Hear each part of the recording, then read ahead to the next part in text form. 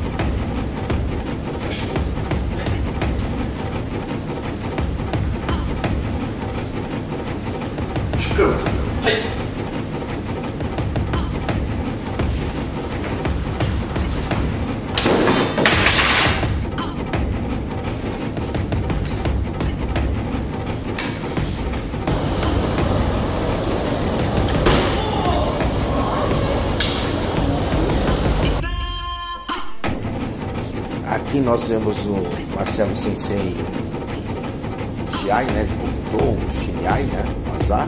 E nesse momento ele aplica um Tayatari especial para criar um sushi muito forte derrubar o seu oponente. A gente fala que isso é um semeno Utsuki, né? É um golpe de energia, de semente, de energia, de postura do corpo. Claro, não é energia que não é desse mundo, é energia cinética, né?